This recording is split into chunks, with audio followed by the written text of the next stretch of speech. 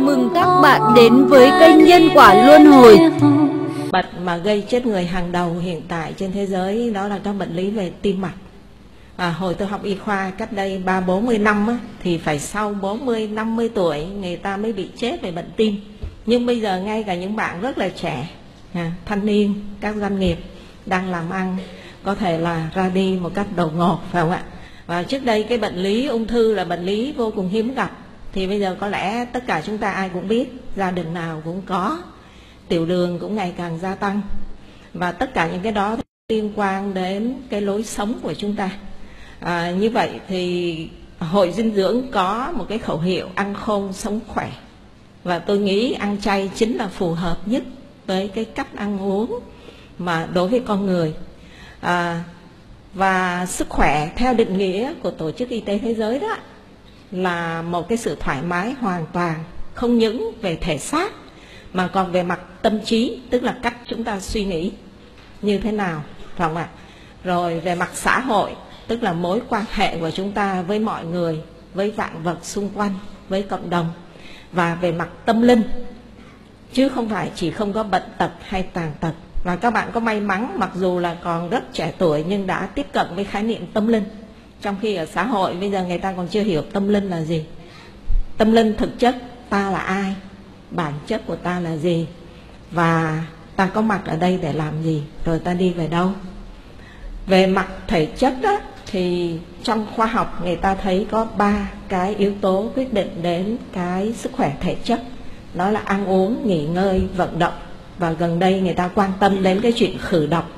Bởi vì môi trường sống của chúng ta bây giờ quá độc hại không khí nhiễm độc nước nhiễm độc đất đai nhiễm độc thực phẩm nhiễm độc. À, và chúng ta sẽ chia sẻ cái vấn đề ăn uống. À, và đây là một cái câu của Einstein không gì đem lại lợi ích cho sức khỏe con người cũng như là sự sinh tồn trên trái đất này bằng việc chuyển sang một chế độ ăn chay. Và chúng ta biết Einstein là nhà khoa học vĩ đại nhất của thế kỷ này. Tức là ở góc độ khoa học ông đã nhận thấy ăn chay hỗ trợ tốt cho sức khỏe, cho môi trường. Và như chúng ta thấy, sức khỏe của chúng ta không thể tách rời được đối với vấn đề đạo đức, đối với vấn đề tâm linh như định nghĩa của tổ chức y tế thế giới. Và đây cũng là câu của Einstein, khoa học không có tâm linh thì mù quáng. Chúng ta thấy khoa học tạo nên rất nhiều của cải vật chất, chinh phục thiên nhiên, nhưng mà ngược lại đem đến sự cạn tuyệt mọi tài nguyên dẫn đến ô nhiễm môi trường, sự xa đọa về đạo đức, gia tăng tội phạm, đổ vỡ gia đình. Như vậy là rất là mù quáng. Chúng ta tìm kiếm những giá trị vật chất nhưng lại dẫn đến những sự nguy hiểm, đến sự tồn vong. Nhưng mà ngược lại, tâm linh không có khoa học thì què quặt. Do vậy mà chúng tôi thấy quý thầy ở đây rất là sáng suốt khi chúng ta kết hợp à, cả góc độ tâm linh và khoa học à, như vậy thì ăn chay nó hỗ trợ cho chúng ta nhiều phương diện và có rất nhiều các cái phương pháp ăn chay khác nhau. Và chúng ta không cần đi sâu vào. Có những phương pháp ăn chay là chỉ hoàn toàn ăn thực vật thậm chí không uống sữa ăn mật ong. Có những phương pháp ăn chay có thể dùng sữa hoặc dùng trứng hoặc thậm chí người ta còn dùng cả cá nữa không ạ? Nhưng mà ăn chay thực sự nghĩa là chế độ ăn dựa trên thực vật à, về phương diện bảo vệ môi trường thì lát nữa thầy thọ nhân sẽ trình bày với chúng ta rất là chi tiết. Có lẽ là tôi chỉ lướt qua.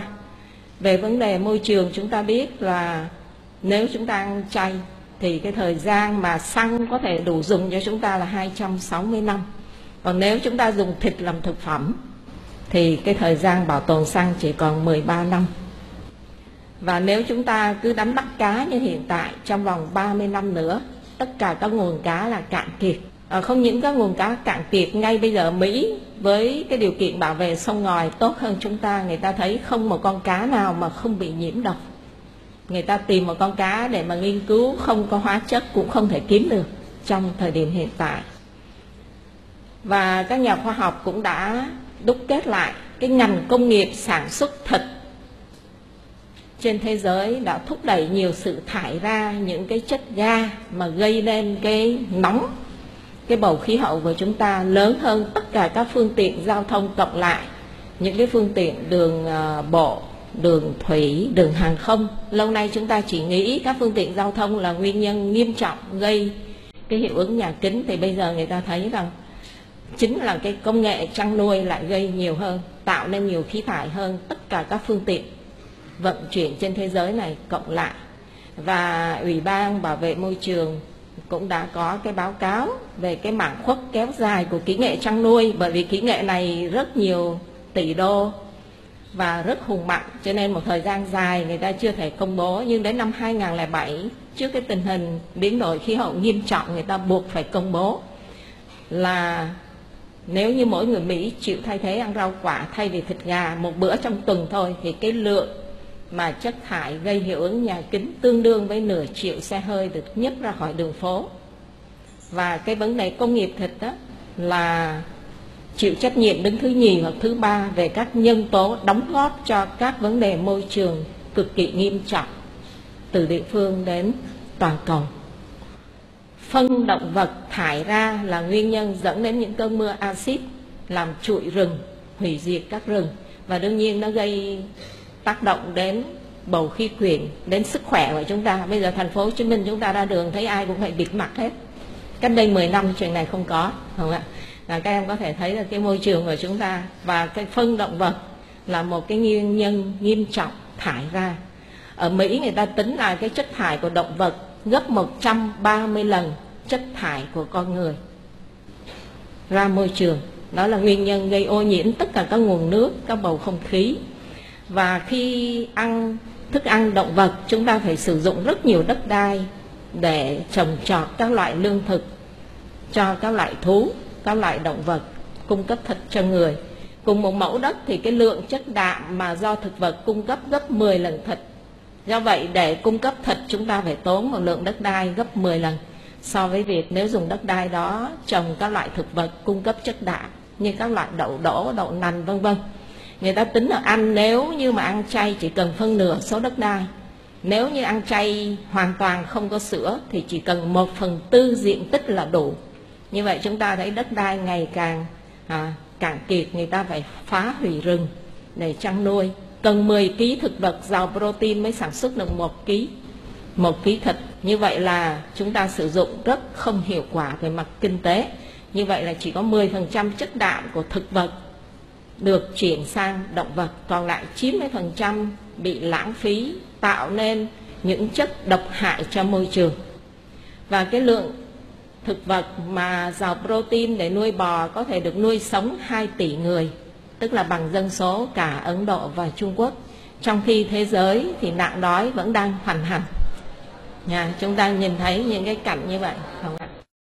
Trên là cái việc mà chúng ta chuyển sang ăn nguồn thực vật cũng là bày tỏ cái tình yêu thương đối với nhân loại, đối với những người còn đang thiếu thức ăn ở trên thế giới.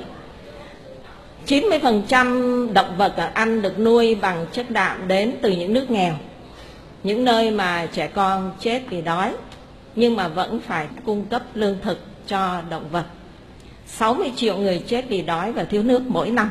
Thế giới mà chúng ta đang sống và mỗi một ngày có 40.000 trẻ em chết vì đói và thiếu nước. Trên 800 triệu người vẫn đi ngủ với bụng đói. Cái số liệu mới đây nhất nó lên đến 1 tỷ người. Với cái nạn à, thay đổi khí hậu năng suất giảm xuống giá lương thực tăng số người đói trên thế giới lại gia tăng. Và công bố của Liên Hiệp Quốc cái lượng thóc lúa mà cần để kết thúc nạn đói mà dẫn đến chết người là 40 triệu tấn. Trong khi cái lượng lương thực chúng ta nuôi cho động vật là 540 triệu tấn. Ha, chỉ một số lẻ nhỏ của cái lượng nuôi động vật có thể cứu được những người đang bị đói có thể dẫn đến chết.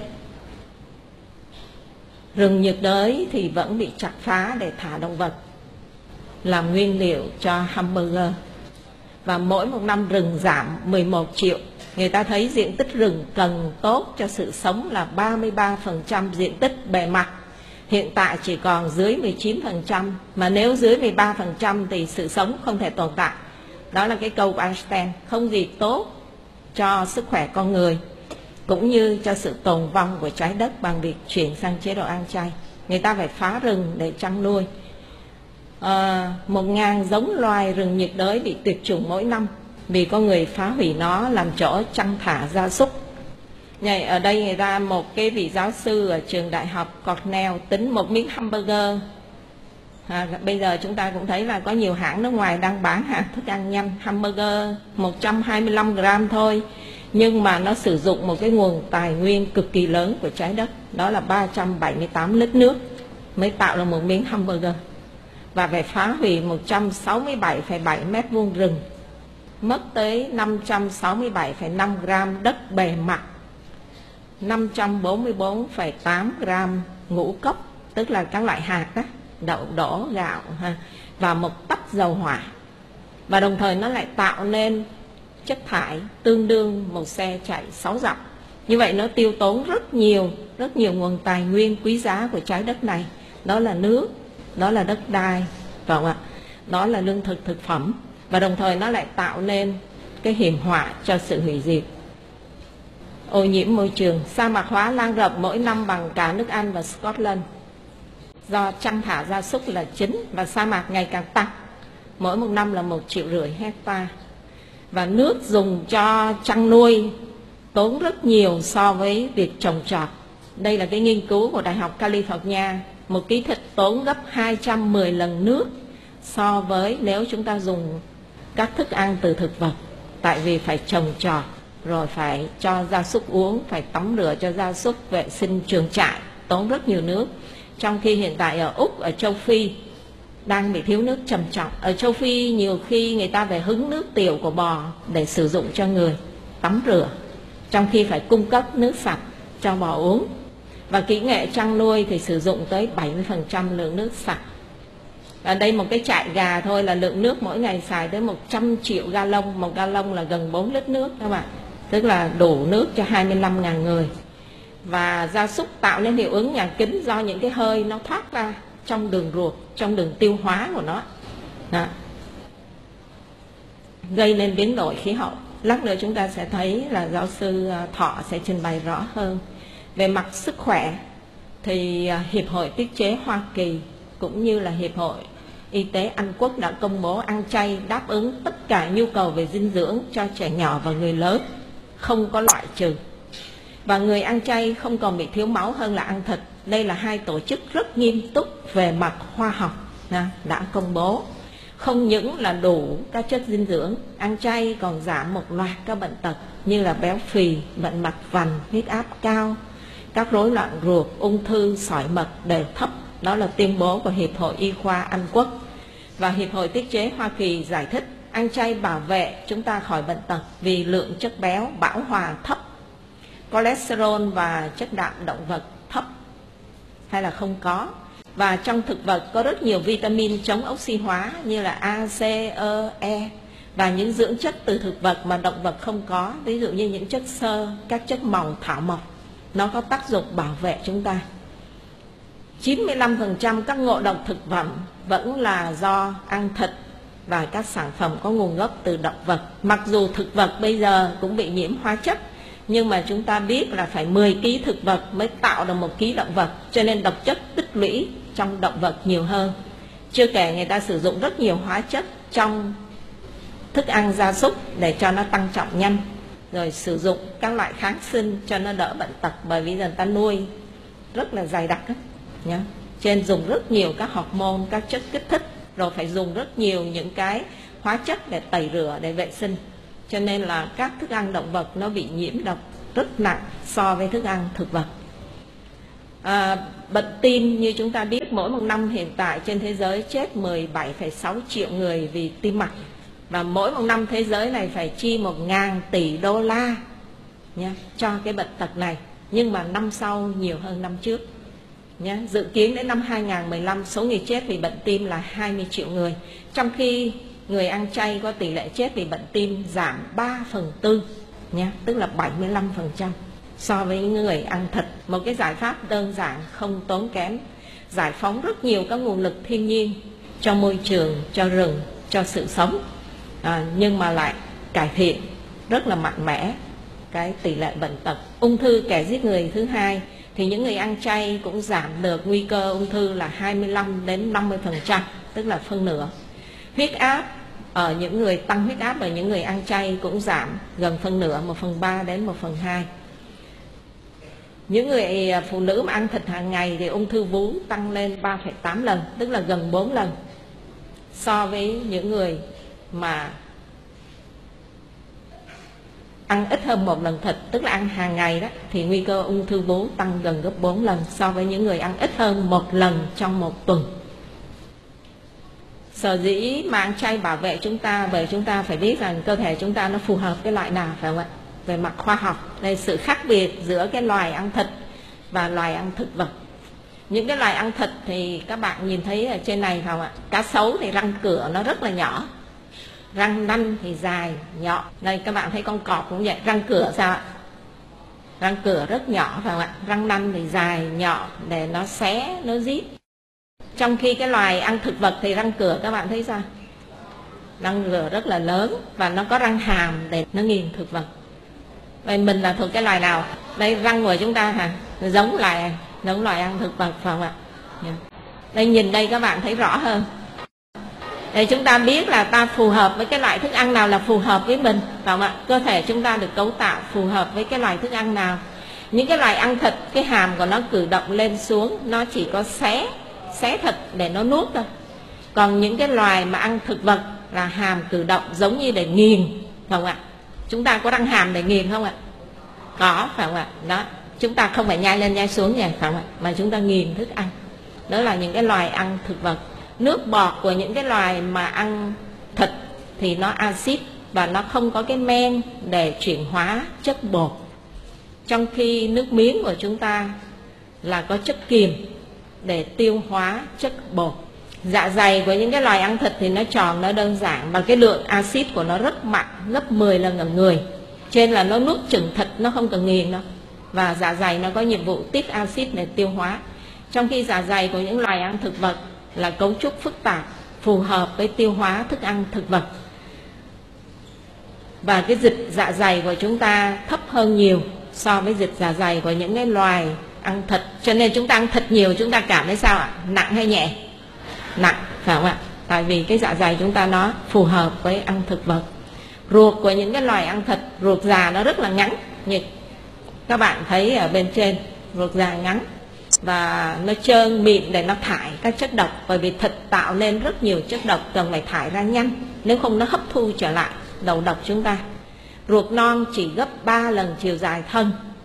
Ví dụ như một con mèo mà ba tấc thì ruột non nó cỡ bao nhiêu các bạn?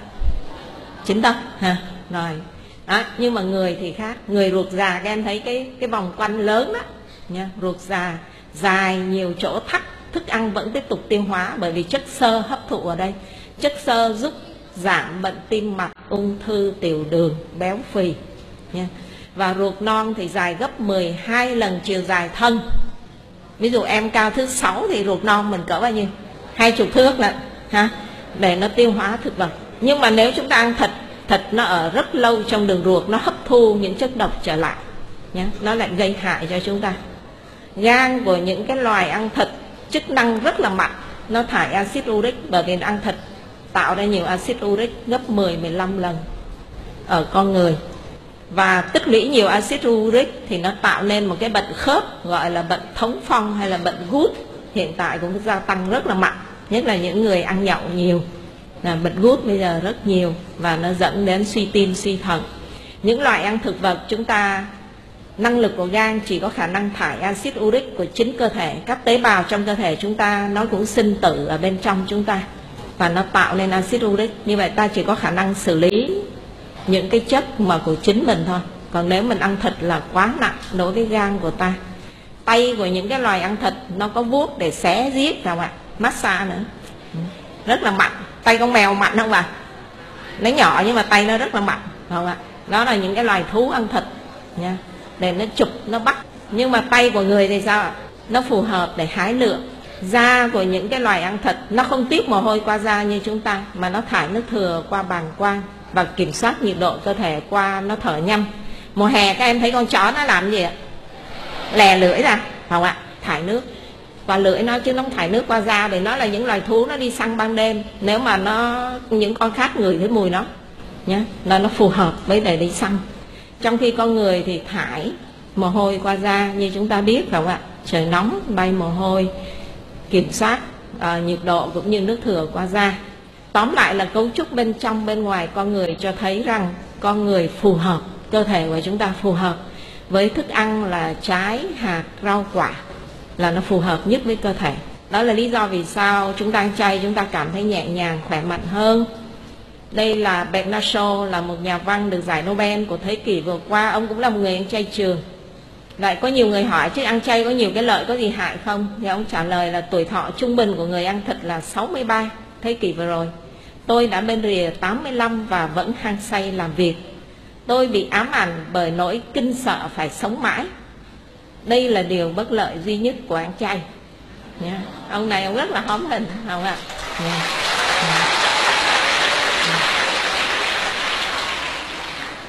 Ăn chay giúp chúng ta bảo vệ đạo đức nữa. Hồi nãy chúng ta thấy là chúng ta bày tỏ tình thương đối với những người còn thiếu thực phẩm trên thế giới. Và tình thương của chúng ta còn đối với những con vật rất là dễ thương các em thấy ở bên trên. Chúng vô tội phải không ạ? Hiền lành. Không có khả năng chống lại ta không có khả năng làm hại ta. Và chúng cũng có cảm xúc có tình yêu thương có không bà? À, có tình cảm không? Có phải không ạ? Nên nếu nhà các em chăn nuôi, chúng có phải là thức ăn của mình không? Và Leonardo da Vinci là họa sĩ nổi tiếng mà, vừa là nhà khoa học nữa. Ông nói là từ bé tôi đã từ bỏ thói quen ăn thịt từ nhỏ nha. Và sẽ đến một thời điểm những người như tôi sẽ nhìn những người giết động vật giống như là kẻ sát nhân. Nhá, lâu nay chúng ta mới nghĩ đến sát nhân là tội lỗi phải không ạ? Nhưng mà những sinh vật vô tội hiền lành, không làm hại gì chúng ta và bất lực. Mà em nhìn đấy, và ở các trang trại người ta tách bê con khỏi mẹ ngay sau sanh. Và bê đực là thường bị giết. Là chỉ có bê cái và nuôi lấy sữa thôi. Và nhiều khi người ta giết trước mặt mẹ của chúng. Họ không để ý thì đến tình cảm cảm xúc. Con bảo mẹ nó có yêu thương con bê không bà? Đó hả? Nếu mà các em thấy nó suốt ngày nó liếm con bê con và mẹ và con thì khóc than nhiều ngày. Sau khi bị chia cắt, đa số này bê, cừu, heo, bị cắt cổ mà nó vẫn biết. Nó hoàn toàn tỉnh táo, nó biết đấy và điều này gây nên nỗi sợ, khủng khiếp và những nỗi đau kinh hoàng. Và nó tỏa ra bầu không khí, tạo nên bất an. Và khi chúng ta sợ hãi, chúng ta cũng tạo nên những độc chất bên trong mình, đúng không ạ? Như vậy những con thú khi nó sợ hãi, nó có tạo độc chất bên trong đó không? Đầy độc chất. Phải không ạ cho nên tại sao thức ăn động vật chứa rất nhiều các độc chất? Nhé ngoài những loại hóa chất thì tự nó tạo ra trong quá trình giết mổ. Những con thú rất là dễ thương, phải không ạ? Nó là bạn hay nó là thức ăn? Và cuối cùng ăn chay và tâm linh. Tâm linh nghĩa là ta là ai? Bản chất của ta là gì? Ta có mặt ở đây để làm cái gì? Và rồi ta đi về đâu? Và đây cũng là câu của Bert Shaw trong khi chính chúng ta là những nghĩa trang di động của những xác động vật, thì làm sao chúng ta có thể mong đợi một tình trạng lý tưởng trên trái đất này? Mình mong muốn được bình an không? Có, phải không ạ? Mình muốn bình an, mình phải cho bình an. Mình muốn được hạnh phúc không? Thì mình cũng phải trao điều đó, phải không ạ? Mình muốn được yêu thương. Nếu mà chúng ta trao cái gì, chúng ta nhận lại cái đó mình gọi là quy luật nhân quả. Nhưng mà trong khoa học đó là định luật của Newton nơi các em học biết rồi. Định luật vạn vật hấp dẫn. Phải không? Mình tác động một lực sẽ có một lực ngược trở lại, y chang như vậy không? Như vậy là chúng ta trao sự khủng khiếp, sự hoảng sợ, sự tàn nhẫn thì chúng ta cũng lắng lại, trở lại. Tại sao thế giới bây giờ trở nên như vậy không? Nên đấy là câu của Bernard Shaw. Nếu chúng ta là những nghĩa trang di động của xác động vật làm sao ta có thể mong đợi một tình trạng lý tưởng trên trái đất này như mình mong muốn? Và đây là Leo Leon Tolstoy là nhà đại văn hào của Nga. Sự sắc sanh đã làm cho những người vốn có một tâm hồn cao thượng, có lòng vị tha đối với mọi người như đối với bản thân mình, đã trở thành những kẻ hung bạo. Bản chất của ta là cao thượng phải không ạ? Bản chất của ta là tuyệt vời, đầy phật tính ở bên trong nhưng mình lại cư xử ngược lại. Đó là ý nghĩa của tâm linh. Và đây là những người nổi tiếng ăn chay trên thế giới. Rất nhiều những nhà khoa học như là Einstein như là Newton. Danh nhân lừng danh là Henry Ford ăn chay phải không ạ? Rồi các vận động viên những nhà soạn nhạc. Những người mà am hiểu nha, về những quy luật của vũ trụ này người ta ăn chay vì mục đích bảo vệ sức khỏe của mình để bày tỏ cái tình thương, đó là phẩm chất thật của chúng ta để bảo vệ môi trường, bảo vệ những giá trị đạo đức mà chúng ta trân trọng. Là tôi xin dừng ở đây. Hết sức cảm ơn. Sự chú ý lắng nghe các bạn.